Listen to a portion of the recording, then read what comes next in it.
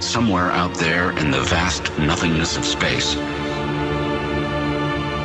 somewhere far away in space and time, staring upward at the gleaming stars in the obsidian sky, were marooned on a small island in an endless sea, confined to a tiny spit of sand, unable to escape. But tonight, on this small planet, on Earth, civilization.